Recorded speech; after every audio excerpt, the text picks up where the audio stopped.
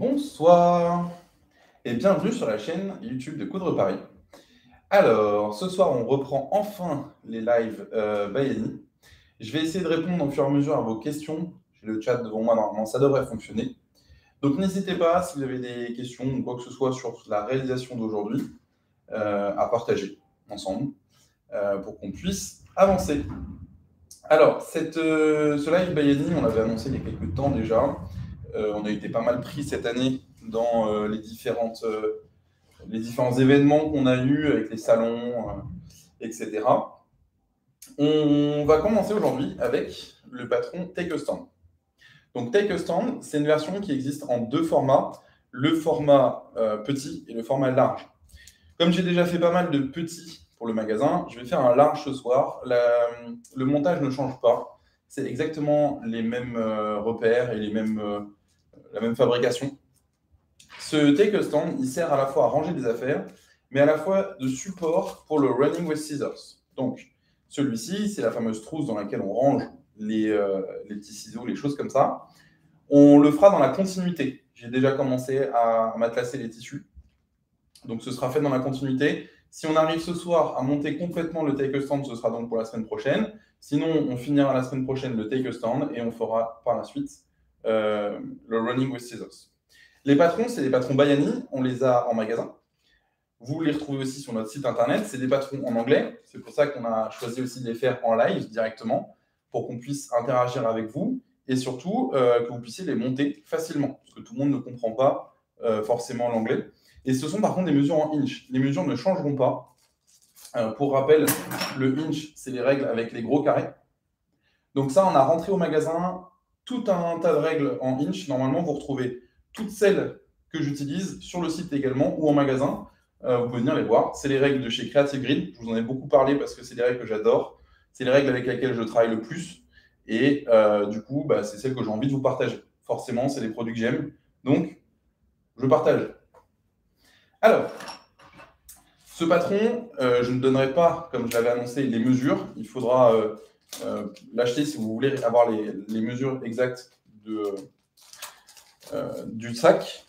Euh, tout simplement parce que Annie a travaillé sur ses patrons et par correction, c'est comme les patrons de couture, je vous laisse les acheter, comme ça vous avez toutes les mesures.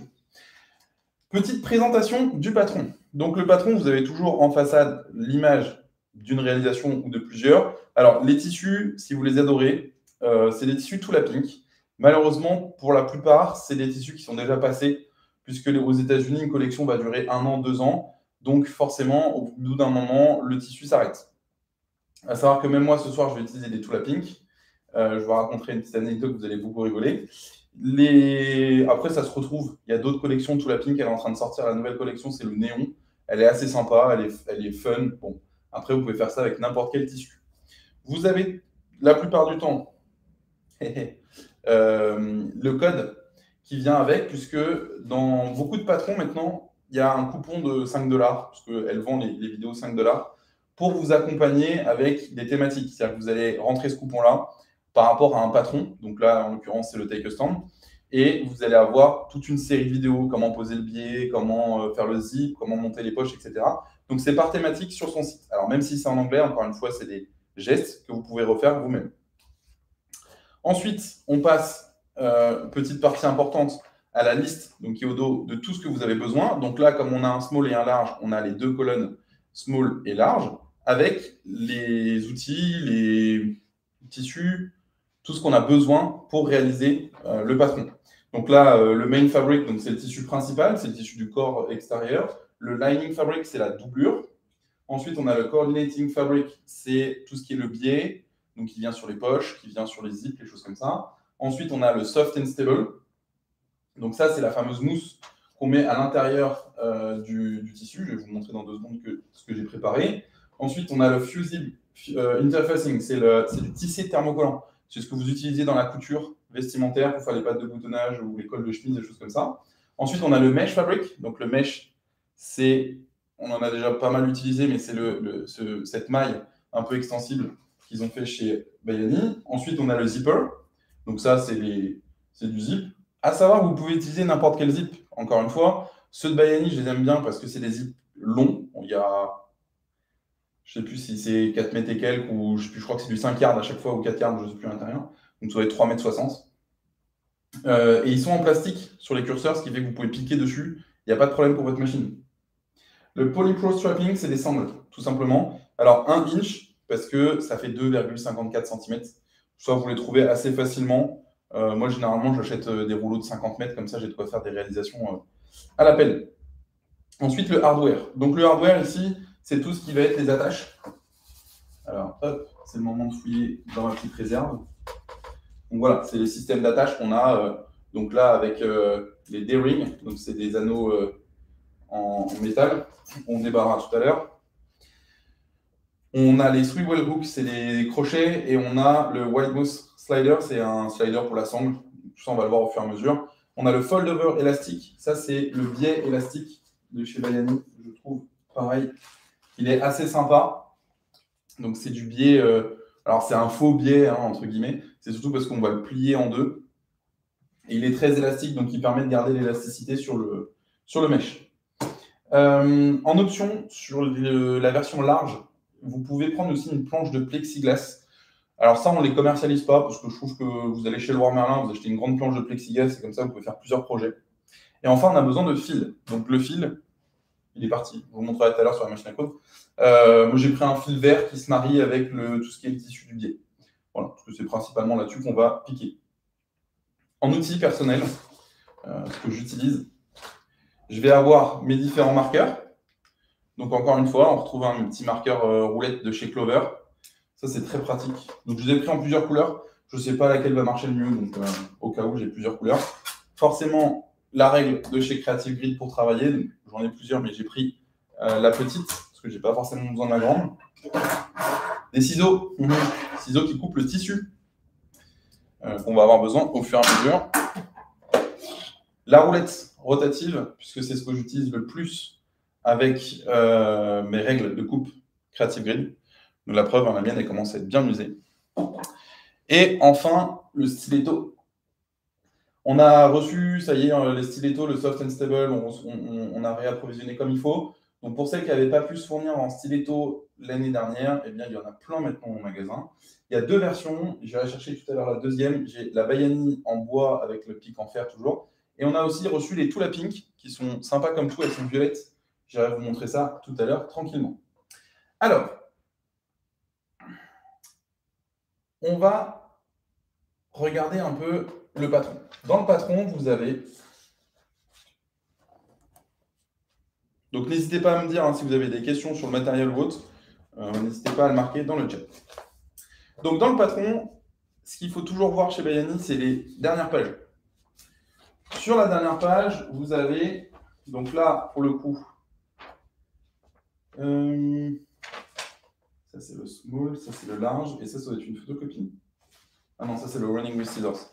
Euh, je mélangeais un peu les patrons. vous avez toujours des petites étiquettes comme ça, où vous avez toutes les pièces qui doivent être coupées. Et donc, euh, pour pas vous tromper, moi, ce que je fais, c'est je fais une photocopie de ça et je viens couper les petites euh, étiquettes, ce qui fait qu'ensuite, je viens les accrocher au fur et à mesure sur les différentes pièces que j'ai coupées. Comme ça, je suis sûr d'avoir tout. Vous voyez, je les ai sur absolument toutes mes pièces. C'est pré-coupé. Et du coup, euh, c'est attaché dessus. Alors, j'ai pré-coupé toutes les pièces à l'avance. Euh, c'est simplement pour essayer de raccourcir au maximum la vidéo. Il y a des choses qu'on va faire ensemble quand même. Alors, la première étape, quand vous prenez votre tissu Bayani, enfin votre, euh, votre patron Bayani, vous pouvez lire pour celles qui comprennent l'anglais. Maintenant, il y a aussi euh, ce qu'on utilise beaucoup, c'est avec l'appareil photo. Vous pouvez traduire directement du texte. Ça peut aller aussi bien pour vous. La traduction n'est pas toujours fidèle, mais ça aide. Première étape, dans le patron, vous avez euh, toute la liste des pièces à couper que vous pouvez cocher au fur et à mesure aussi pour vous aider et vous dire, OK, ça c'est bon, je l'ai fait, et on passe à la suite. Au niveau de mes pièces, vous devez avoir à la maison, alors je rassure pour tout le monde, euh, la vidéo, elle sera remise ensuite en... Elle sera remise ensuite en replay. Il n'y a pas de problème, hein, on va pas... C'est pas euh, uniquement ce soir et on se dit au revoir. Donc, normalement, vous devez avoir une grande pièce qui sera le corps du sac sur lequel on va venir monter les éléments. Donc là, comme je vous disais, c'est un tissu chez la Pink, à l'intérieur comme à l'extérieur. Donc j'avais choisi, ça c'est pour euh, ma chère mère, Madame Fabre, que vous connaissez certainement si vous venez au magasin. Euh, j'avais acheté toute une série de tissus pour qu'elle puisse faire l'ensemble des sacs, des trousses et tout ce qu'on voulait de chez Baliani euh, pour partir en voyage, emmener des outils partout où on a besoin. Donc, à l'intérieur, une doublure, à l'extérieur, le tissu principal. La petite anecdote, c'est qu'au final, euh, vu que j'avais acheté des tissus il y a. C'était avant le confinement, ceux-là, ils ne sont pas tout jeunes. J'en avais pas pris assez en fait. Donc, du coup, on aura une petite différence de tissu sur les poches extérieures. Donc ça, c'est les deux poches. On a deux pièces identiques. Donc c'est pour ça qu'elles ne sont pas matelassées de la même façon et qu'elles n'ont pas tout à fait la même couleur. Parce que j'avais pas assez de tissu, donc j'ai dû tricher un petit peu. On doit retrouver ensuite les deux côtés. Donc les deux côtés, c'est les seuls sur lesquels vous allez devoir arrondir le bas et uniquement le bas du, euh, côté. Le haut reste bien carré pour simplifier la tâche de, pour couper les, les ronds. J'ai fait venir, il y en a quelques-uns au magasin, donc euh, si vous en avez besoin, n'hésitez pas. Le jeu de règles rondes de chez Creative Grid que Bayani utilise en permanence pour couper ses pièces, puisque du coup, vous avez l'arrondi parfait que vous allez venir couper ici. Accessoirement, on peut faire aussi du patchwork avec, hein, je précise. J'ai prévu de faire quelques, quelques patchs avec, parce que c'est assez sympa. Donc là, vous devez en avoir deux. J'ai précoupé à l'avance les blocs.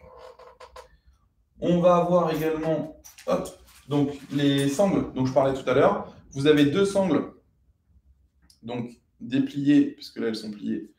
Vous avez deux sangles comme ça. Et vous en avez une grande, je ne vais pas la déplier tout de suite, mais vous en avez une grande pour faire du coup la hanse du sac.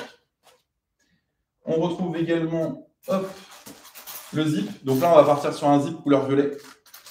C'est sympa. Du coup, j'ai prévu aussi les, les euh, les, biais élastiques en violet pour que ça se réponde bien. Le mèche en jaune. Vous allez voir, ça va faire top. Et après, on a tout ce qui est les tissus de la doublure, donc que j'ai pré-coupé aussi. Et c'est pareil, je vais tricher un peu parce que j'avais plus assez de doublure.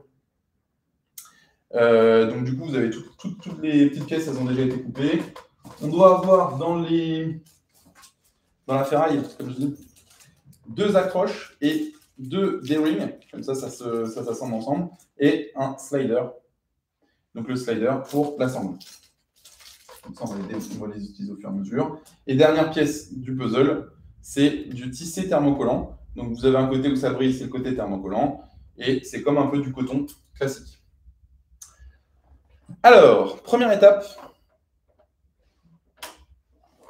peut-être plus par là parce que j'ai l'impression que. Oui. Hop. On va décaler un peu la caméra.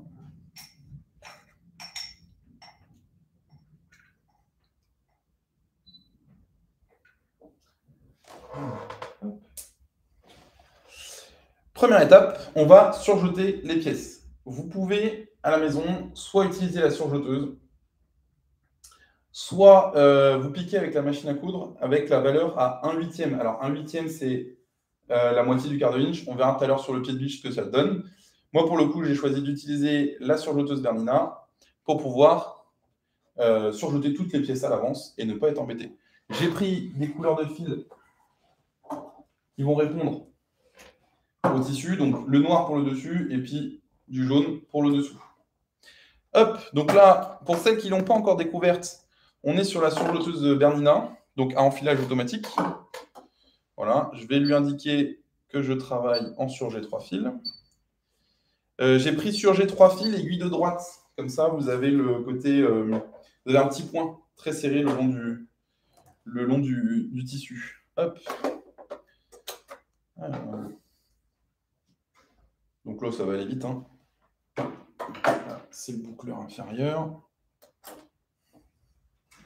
Ça, je vais vous préparer, euh, si ça vous intéresse un peu, pour découvrir cette machine, je vais préparer une série de vidéos sur les petites biches de la Bernina que j'ai commencé à tester au magasin et que je trouve assez exceptionnel.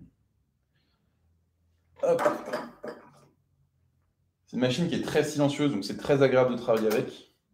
Et en plus de ça, elle est très qualitative.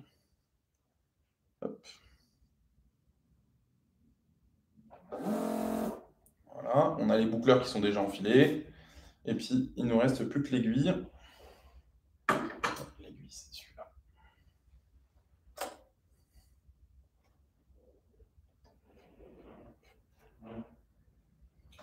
Alors moi, l'aiguille, j'aime bien l'enfiler avec la pince Bruxelles.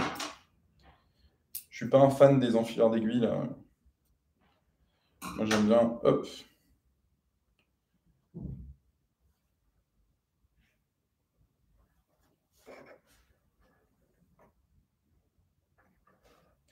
Et on est prêt à travailler. Donc, je referme mes portes. Je remets en place ma petite poubelle. Et on y va. Alors, hop, je commence avec les côtés. Donc, ce que je fais, c'est que je défais les étiquettes pour travailler forcément. Et surtout, je les laisse de côté. Je vais essayer que vous puissiez tout voir. Hop. Voilà, tout se met en route. je sais plus ce que j'ai mis comme valeur par contre. Peut-être resserrer un peu. Alors, vous l'avez certainement vu dans une vidéo il n'y a pas longtemps que ma chère mère a fait sur le pivotement. Donc genouillère, je relève mon aiguille, tac tac. Puis on reprend la couture. Et là, vous voyez, moi ce que j'aime bien, c'est que du coup, j'ai à l'arrière le jaune qui se voit peu. Parce que du coup, on est vraiment ton sur ton. Et de l'autre côté, c'est du noir. Et c'est pareil, quasiment ton sur ton. Je vais zoomer un petit peu plus peut-être.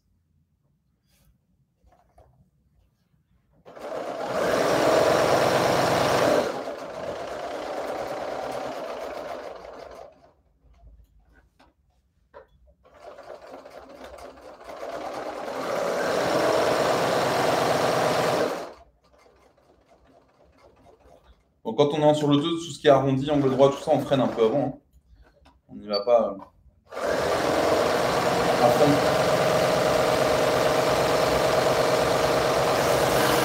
voilà, hop, la première est surjetée. Donc, ce qu'on ne ferait pas habituellement, mais je le fais là parce qu'on va remonter des biais et encore autre chose après, c'est que normalement, on laisse un peu de fil pour le rentrer dans la couture. Là, en l'occurrence, c'est vraiment juste pour avoir les bords propres pour avancer sur notre couture.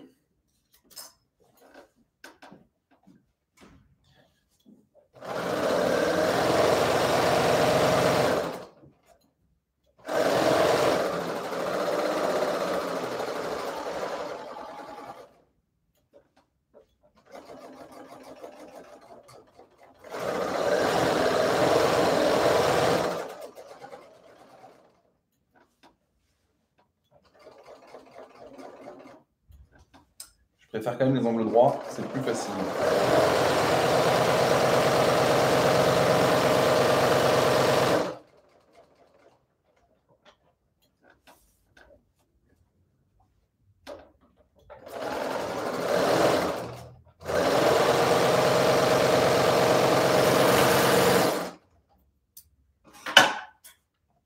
N'hésitez pas, hein, si vous avez des questions, surtout, on est là pour y répondre.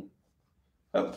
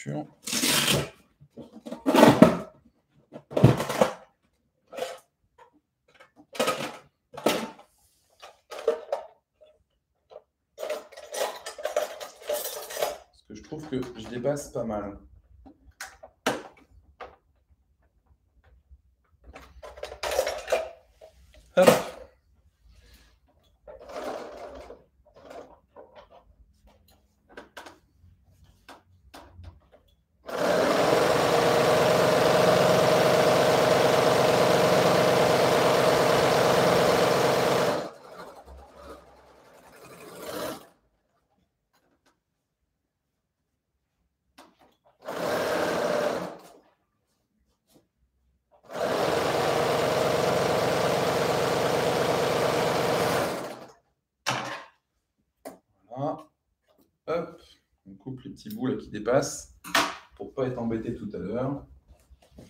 Donc, vous faites attention, si vous avez des tissus directionnels, comme c'est mon cas par exemple, à bien choisir le sens de montage. Quand on va arriver tout à l'heure sur les poches, euh, qu'on n'ait pas des tissus à l'envers. Vous voyez par exemple sur mes côtés, j'ai pris le motif du, euh, du singe vers le haut.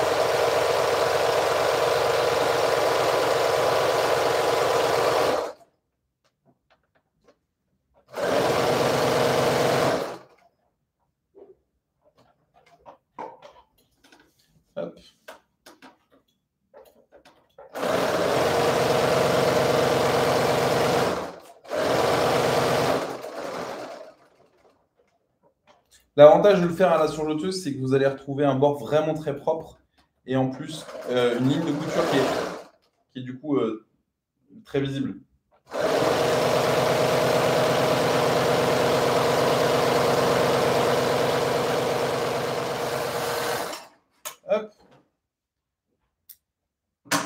Donc là, je remets mes poches ensemble et je remets ma petite étiquette. Jamais perdre de vue ces petites étiquettes. Et la dernière pièce, hop, le corps principal.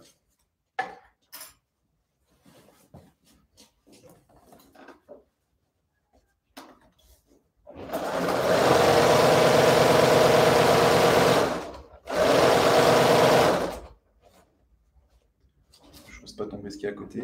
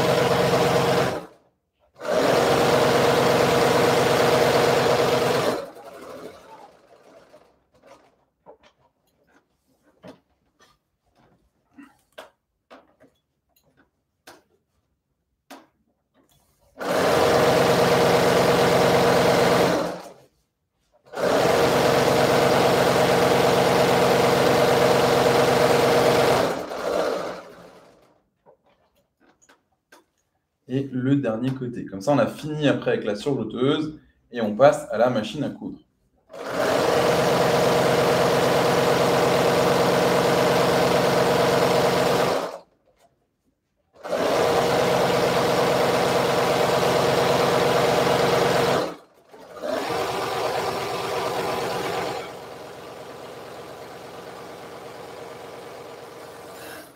Hop, c'est fini.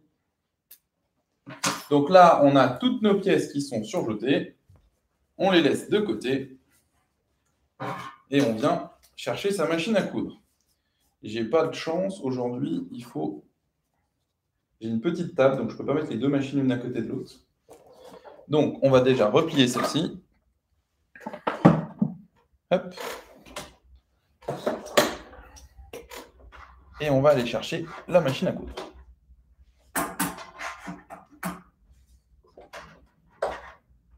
Faire tomber les câbles.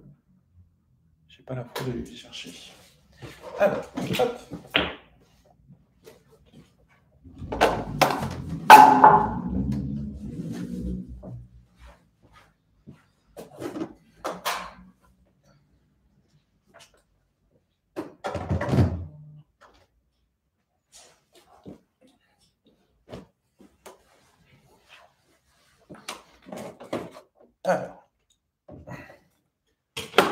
Petite machine à coudre.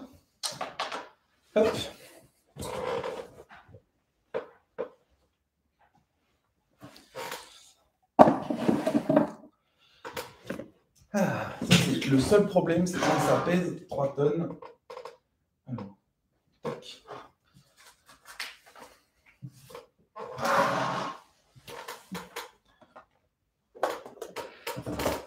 Voilà. Alors.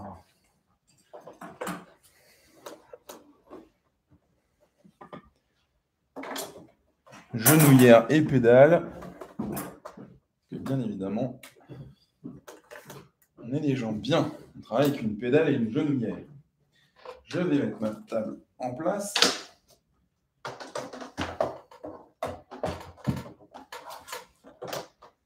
Voilà. Hop.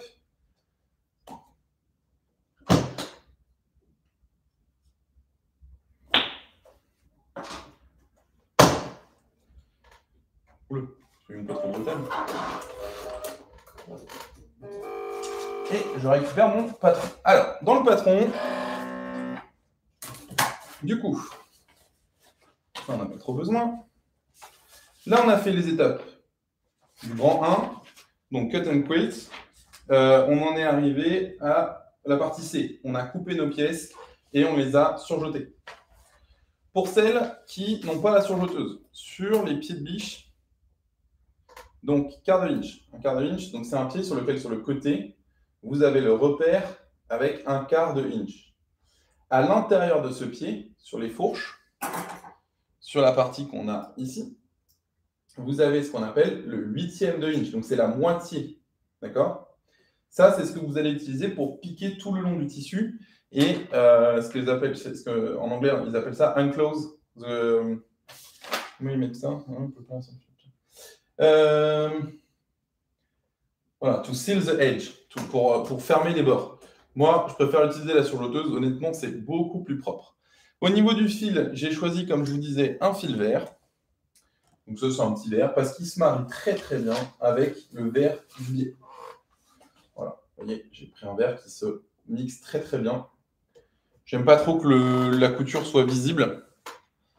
Parce que si on n'est pas très bon couturier, du coup, on voit. Euh, j'avais fait un, jour, j'avais voulu faire une housse d'armina avec euh, du fil noir sur un biais rouge. C'est pas forcément ce que j'ai réussi de mieux.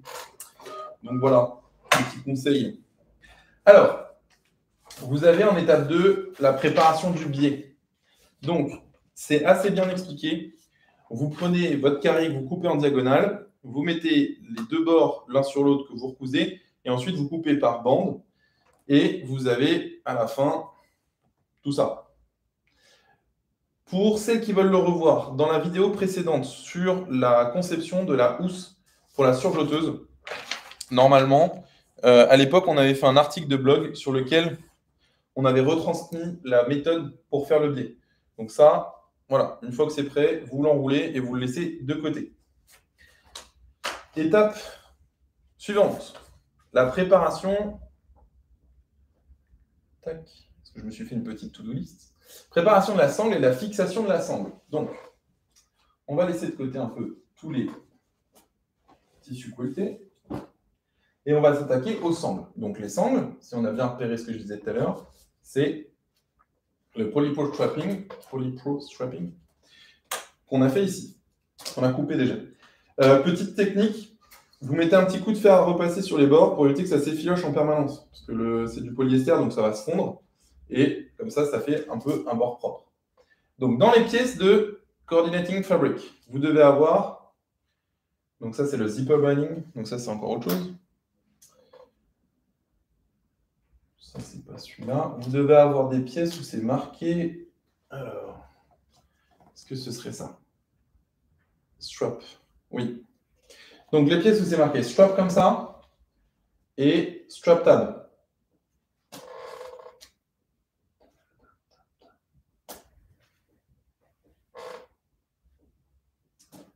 Pas celui-là. Je regarde juste parce que j'en ai un petit paquet. Est-ce que je les ai tous mis ensemble du coup? Je sais que je les ai coupés. Ça, c'est pour la sangle principale. Et normalement, j'en ai un sur le côté où c'est.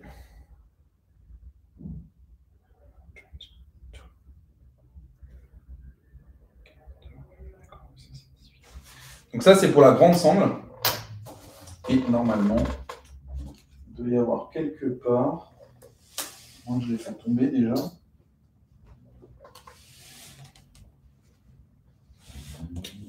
Laisser derrière. Euh, on doit avoir quelque part, mais là, ça me. Ça m'inquiète parce que je ne les vois pas. Pocket A, Pocket A border. Pocket and binding, and strap, le mesh, zip binding. Bah oui, normalement je les ai coupés. Normalement je les ai coupés.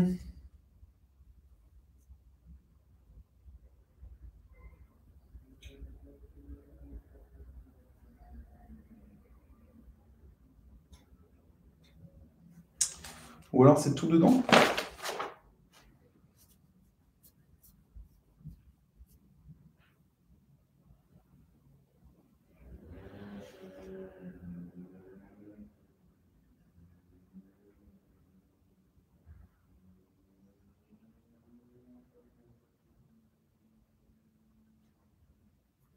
Je pense que c'est tout dedans. J'ai peut-être zappé de regarder ça, mais. Euh, strapping. Oui, c'est ça, c'est qu'ils ont mis. Euh, ils ont tout mis dedans en fait. Ok. Donc sur la version large, on assemble les trois morceaux ensemble. Comme Alors, sur les bandes, pour les sangles, vous faites une couture de 1 demi-inch. Donc un demi-inch, ça fait en gros une couture de 1 cm à peu près. Hop. Pour celles qui ont des Bernina, vous avez des repères sur les plaques, même les browsers d'ailleurs, ils ont des repères sur les plaques. Alors, euh, le demi, il est là. Tac, tac. Et d'une. Et donc, ça c'est mon envers. L'endroit, il est par là-bas. Hop.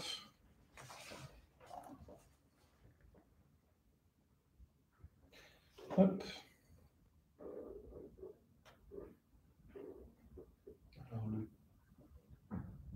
il est là. Alors, l'histoire du demi, c'est que simplement, comme ça, vous avez une couture qui est prise très large. Comme les sangles, c'est quelque chose de très lourd euh, pour porter le sac, etc. Elle préfère qu'on ait quelque chose de euh, piqué large. Une fois que c'est fait, on ouvre la couture en deux. Donc, si vous avez un petit stiletto, vous prenez le côté plat ici et vous pouvez tout simplement écraser la couture. Couture ouverte, hein, toujours.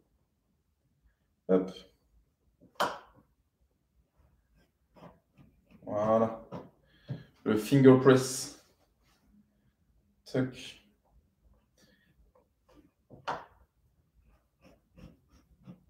Voilà. Hop. Et on vient bien évidemment assembler tout ça. Donc là, vous piquez endroit sur endroit, vous refermez et vous piquez tout du long à un quart de inch.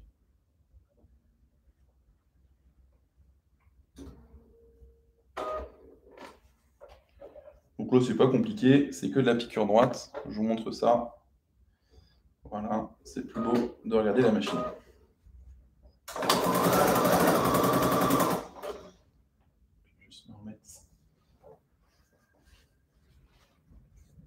N'hésitez pas, hein, encore une fois, mais si vous avez des questions, posez-les dans le chat.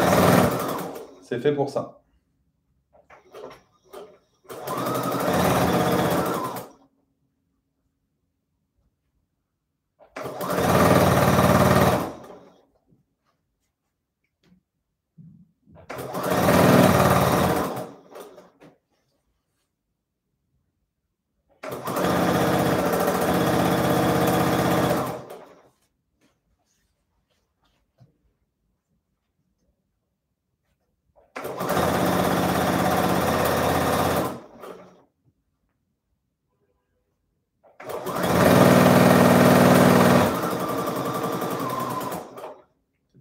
La vitesse parce que.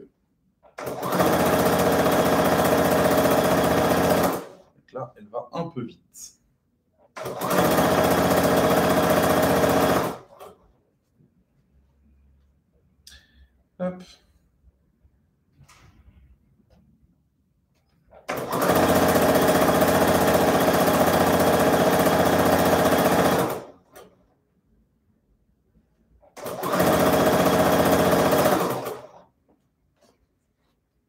Alors, quand vous arrivez aux coutures d'assemblage, essayez de les avoir euh, le, côté euh, les, les deux piqûres ensemble.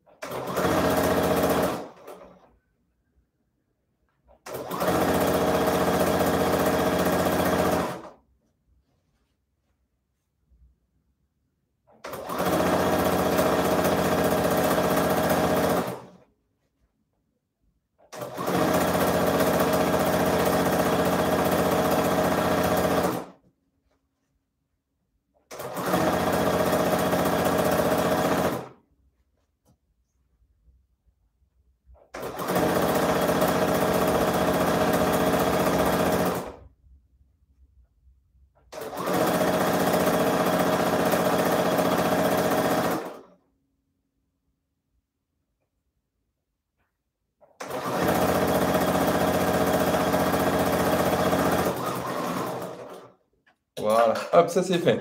Donc là maintenant, direction le fer à repasser. Vous allez. Alors, ce qui est très important maintenant, on va ouvrir la couture au milieu et en même temps on va repasser. Essayez de garder cette couture au milieu du recouvre-sangle. Parce qu'après, sinon, vous allez, ça va twister un peu quand on va mettre la sangle. Hop, je reviens.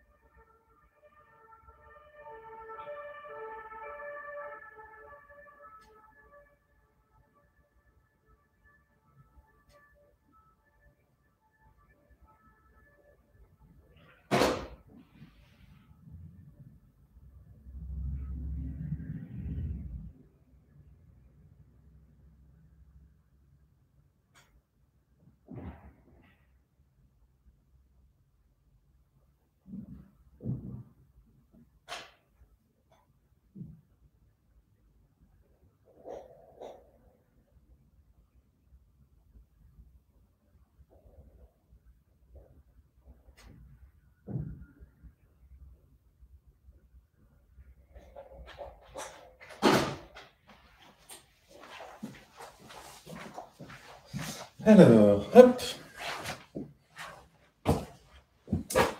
Donc voilà, on a repassé couture ouverte. Maintenant, l'étape assez importante. Alors, pourquoi je coupe jamais mon petit bord directement Que je vais me servir d'un outil qui est pointu pour aller pousser à l'intérieur et pour pouvoir retourner ma sangle. Ce qui fait que je garde toujours la lisière parce que comme ça, elle n'est pas. Euh, je m'en fiche, je peux la couper après. Ça n'abîme pas le tissu de la sangle. Hop.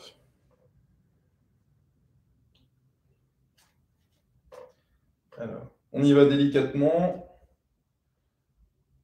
Va passer tout ça à l'intérieur. En principe, ça se passe plutôt bien.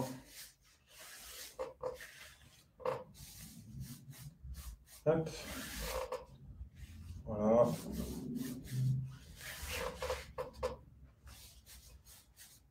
Donc il y en a qui utilisent des outils là pour euh, retourner les sangles. Moi, j'ai trouvé que c'était plutôt une bonne technique.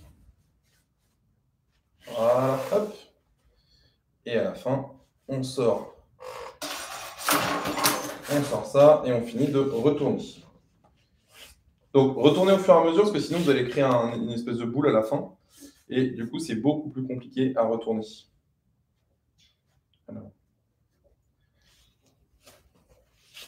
Voilà. Hop. Puis au fur et à mesure, on tire. En principe, ça doit y aller tout seul. Alors. Donc, maintenant, ce que Bayani nous dit. Elle nous dit, une fois qu'on a préparé ça, on vient couper dedans deux pièces de 21 pour le large ou de 14 pour le petit. C'est pour ça que vous avez tout ce qui est entre parenthèses dans le patron, c'est ce qui concerne la grande taille. Tout ce qui est écrit directement, c'est pour la petite taille. Donc, hop, je prends ma bande, je prends ma règle et je prends un outil pour marquer. Alors, un truc qui se voit, bien. Donc, première étape, je vais marquer la fin surtout, parce que comme le mien, il est en bord brut encore. Alors, hop. On va s'arrêter là. Moi, il me faut 21. 21. Ça va être 2 fois 11. C'est pas mal ça. Non.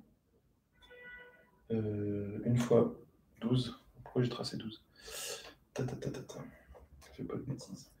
10 et demi, ça va être le milieu. Donc en même temps, je m'en sers pour marquer le milieu pour tout à l'heure. Et encore une fois, 10 et demi. Donc. Alors après, euh, vous embêtez pas. Hein. Moi, ce que je fais, c'est que directement, j'y vais au ciseau. Si vous avez votre table de coupe à côté de vous, c'est pas mal. Sinon, hop. Je revérifie toujours parce que j'ai toujours un doute. J'ai l'impression que je n'ai pas tracé assez. Si, c'est là. Voilà. Hop, première pièce. Bon. Vu que je suis plutôt feignant, je vais m'en servir pour tracer la deuxième directement.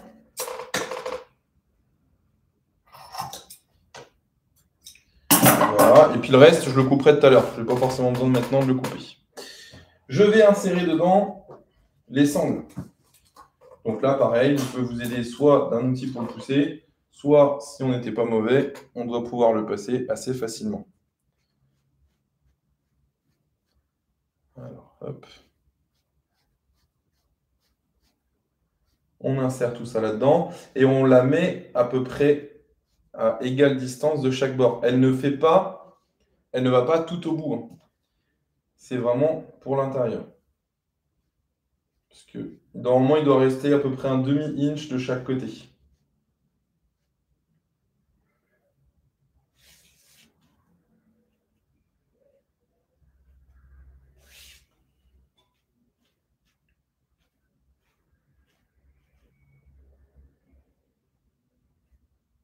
Alors les petites, généralement j'y arrive. La grande, il le pousser. Je vérifie juste que j'ai mon demi. Voilà, j'ai à peu près un demi. C'est pas mal. Donc là, on a une première sangle. On en fait une deuxième pareil. Hop.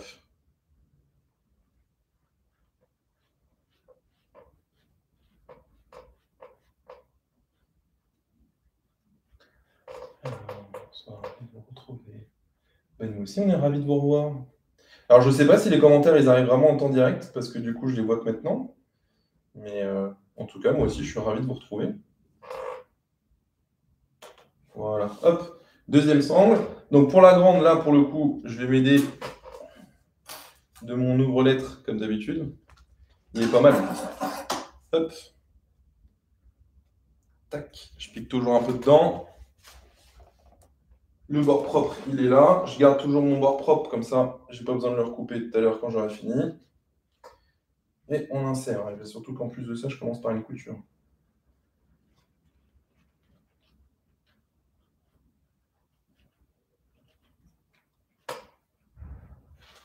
Alors, hop. Peut-être un peu moins bon. Ah non, ça va. Alors, quand vous insérez les sangles, essayez de les insérer toujours à plat pour pas euh, twister. Alors, ce que j'appelle twister, c'est que si celui-là, il commence à tourner autour de la sangle, bah, c'est hyper galère parce qu'après, pour les remettre, c'est vraiment beaucoup plus compliqué. Donc, essayez toujours de garder votre tissu bien à plat sur la sangle.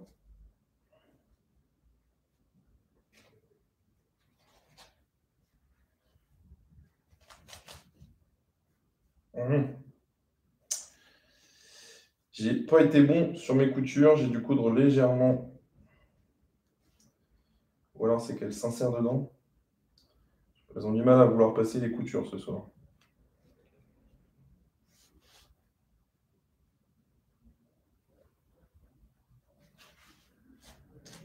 Voilà, hop. C'est reparti. Donc au fur et à mesure, bien sûr, vous avancez la sangle dans le tissu.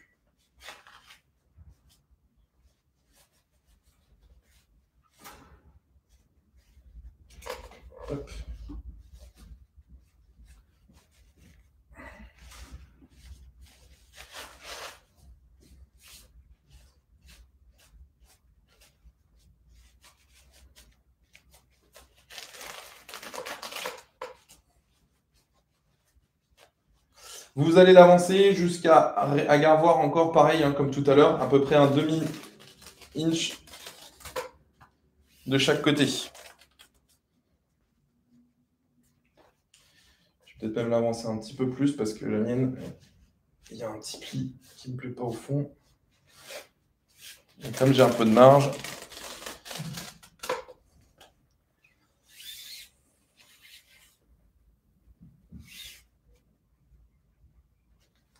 On va l'avancer encore un petit peu. Déjà pour pouvoir récupérer ça. Voilà. Alors, dans l'autre sens, on va faire à peu près ça. On est pas mal. Et le reste, je le tire à l'intérieur. Voilà. Hop. Tout simplement, c'est parce que ici, j'ai une couture. Et euh, je me dis que si je peux l'éliminer, je l'élimine. Et là, je coupe un demi-inch. Alors, l'étape suivante, elle est très simple. Sur les sangles Bayani, pour pas que ça bouge à l'intérieur, on vient surpiquer tout du long, piqûre nervure, une piqûre à peu près à 3 mm ou à 1 huitième de inch, quand on a l'habitude du inch. Hop.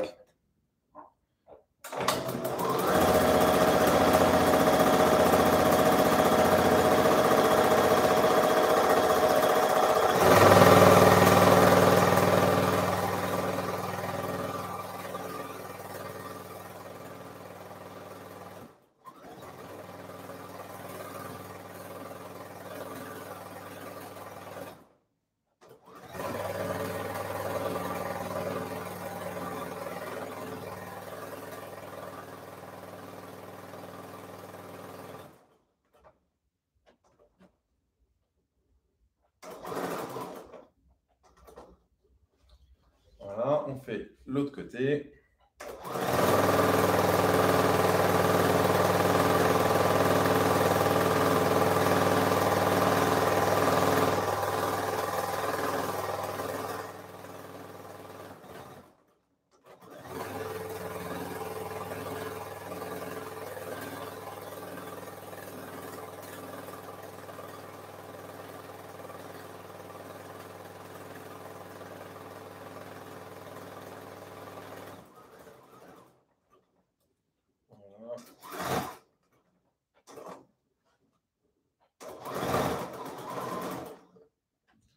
C'est la première, la grande.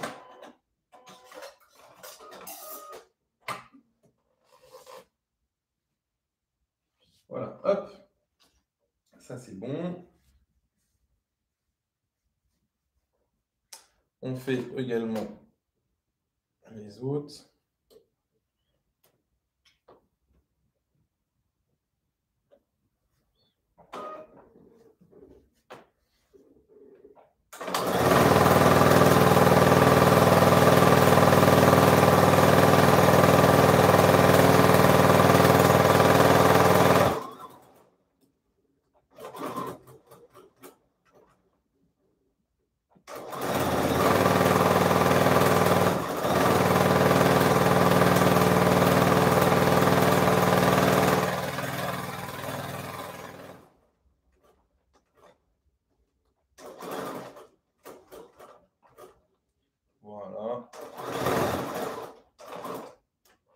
Et on la dernière. Donc, les deux petites nous serviront à accrocher la sangle sur le sac. Et la grande sera donc la sangle en elle-même.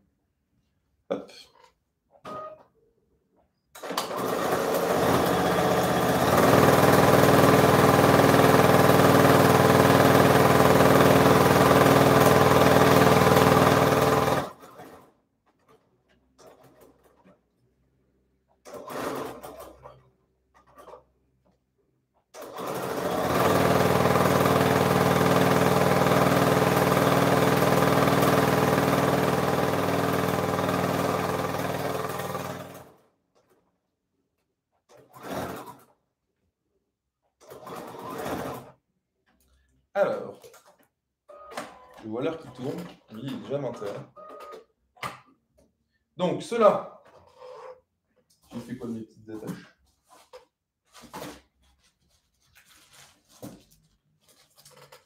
Cela, tout simplement, vous prenez donc les bearings. Donc, ça, c'est des petits anneaux en forme de D avec un côté plat et l'autre côté qui est en forme de rond. OK? Ça, vous les mettez, donc, vous gardez la couture intérieure. Comme ça, vous les mettez au milieu. Donc, on plie le tissu en deux, on va à fond. Moi, ce que je fais, c'est que je mets une petite pince. Voilà, comme ça, il va commencer à prendre un peu le pli. Et ça, on le laisse de côté. On fait pareil avec le deuxième.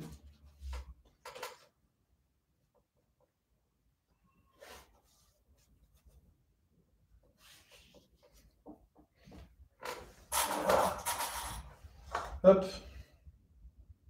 Voilà. Pour ce qui est du grand. Alors, pour ce qui est du grand, c'est pas très compliqué. La première chose à faire, c'est de prendre le reste d'attache. De toute façon, il ne reste plus grand chose.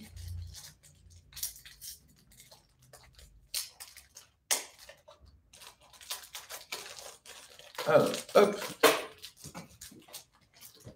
J'ai fait tomber les deux. C'est malin. Alors, on a tout ça à imbriquer les uns dans les autres. Alors, on commence. Il faut commencer toujours par le slider. Le slider, il a un côté un peu bombé. C'est le côté extérieur. Vous allez passer dedans, comme ceci. Hop. Ce slider, vous allez faire un pli comme ça. On replie son tissu vers l'intérieur. Vous laissez à peu près un inch, un inch et demi. Et vous faites une croix.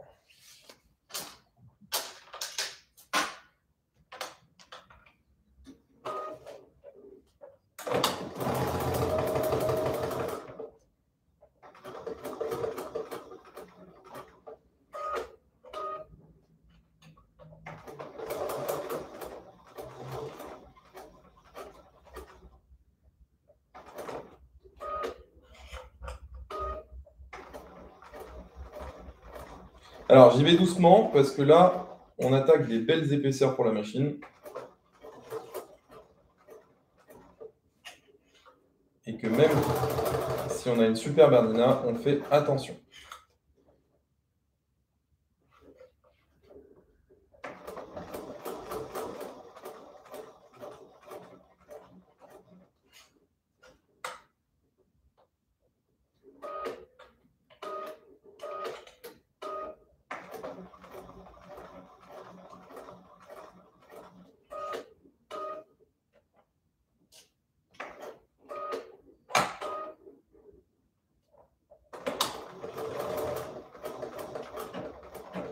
Voilà, donc là, c'est la première étape. Vous prenez...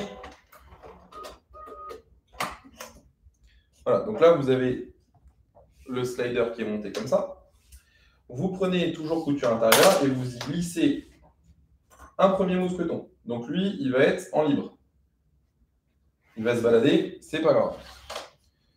Vous passez la sangle, vous la repliez et vous la placez hop, dessus, ceci.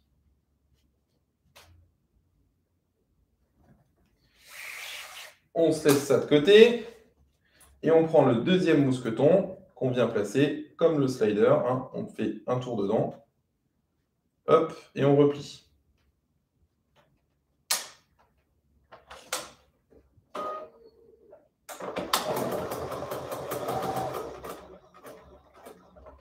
Et pareil, même système, on fait une croix.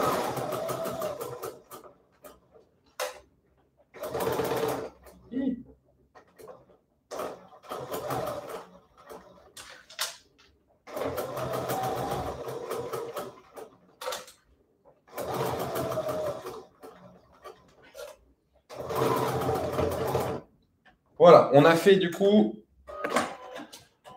les deux sangles, les deux, accroches sangles plus la grande sangle. une fois que c'est fini, généralement, ce que je fais, c'est que je la réduis au minimum. Voilà, pour pas qu'elle m'embête. Hop. Et ça, on la laisse de côté avec les straps. Je vous abandonne là parce qu'il est déjà bien 20h et que vous avez déjà de quoi travailler.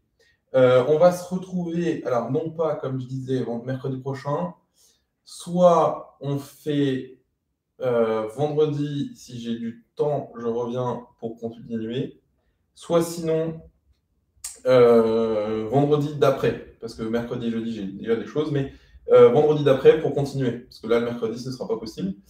la semaine d'après, du coup, enfin la prochaine vidéo, on fera ensemble la préparation des côtés.